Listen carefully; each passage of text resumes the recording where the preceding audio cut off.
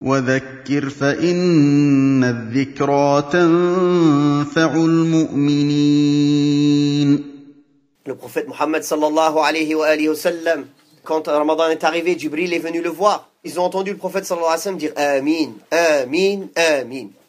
Ils ont dit Oh, oh messager d'Allah, on t'a entendu dire Amin.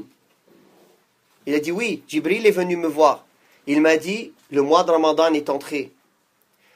Celui qui ne se fait pas pardonner dans ce mois-là, qu'Allah l'éloigne, qu'il rentre au feu. Et le prophète sallallahu a dit Amin, Amin, Amin. C'est-à-dire, si ce mois-ci, tu n'as pas réussi à te faire pardonner, quand tu vas réussir à te faire pardonner? Le Ramadan, c'est le mois du repentir. C'est le mois du retour à Allah subhanahu wa ta'ala. Combien de gens, ils laissent passer Ramadan et Ramadan?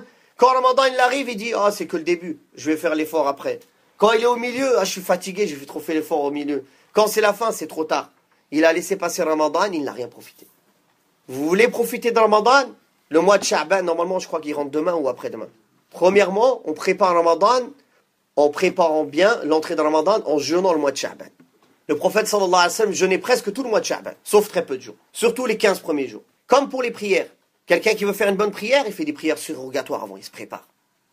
Après, il se lève dans la prière obligatoire, il va la faire concentrer, il va la faire bien. Tu veux faire un bon jeûne de Ramadan? Commence. Sha'ban, il arrive, commence à jeûner, commence à te repentir, commence à faire les comptes sur toi-même, commence à te préparer à profiter au maximum du mois de Ramadan, à t'éloigner des futilités, à t'éloigner d'écouter des paroles malsaines, de participer dans des choses qui sont nuisibles pour toi auprès d'Allah subhanahu wa ta'ala. Prépare-toi dès maintenant, dès maintenant pour que le Ramadan ce soit un bon entraînement pour toi pour toute la vie, pour toute l'année.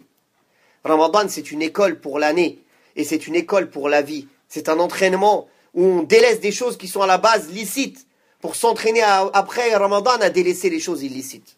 Allah Ta'ala il a dit, le jeûne il a été instauré pour atteindre la taqwa. C'est quoi la taqwa barakallahu fikum?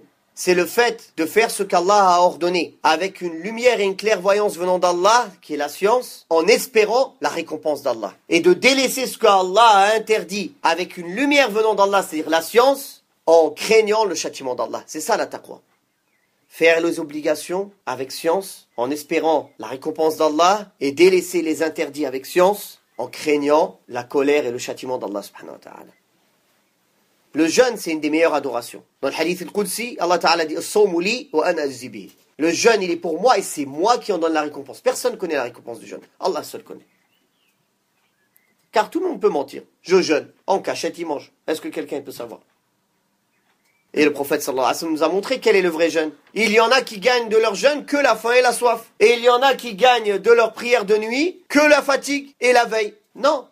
Celui qui jeûne et qui ne délaisse pas le parler mensonger, qui ne laisse pas l'interdit, qui ne laisse pas la médisance, qui ne laisse pas d'écouter le haram, la musique, la médisance, les calomnies, celui-là, sa récompense, elle n'est pas complète.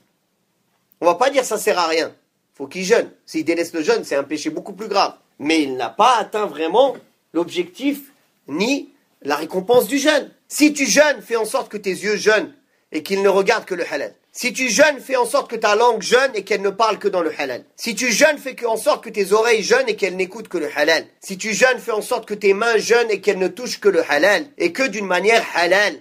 Si tu jeûnes, fais en sorte que tes pieds jeûnent et qu'ils ne vont que dans des endroits halal. Voilà le jeûne, comment il doit être. Et le jeûne, c'est un bouclier contre l'enfer, pour se préserver du feu de l'enfer. Il y a une porte spéciale par laquelle les jeûneurs vont entrer au paradis. Quand les jeunes rentrent par là, ils se ferment. Ça y est, plus personne ne peut rentrer par là. Fabarakallahu fikum. Préparons ce mois de Ramadan au mieux. Préparons ce mois de Ramadan en jeûnant le mois de Sha'ban, en se repentant de nos péchés, en se faisant un programme de comment profiter pendant le mois de Ramadan des adorations, des assises d'apprentissage de notre religion, surtout du Coran. C'est le mois du Coran. C'est le mois où on lit le Coran, on essaie de comprendre le Coran, on essaie de comprendre les règles du Coran, de les mettre en pratique. Fabarakallahu fikum, faites l'effort, Inch'Allah. وقل رب زدني علما.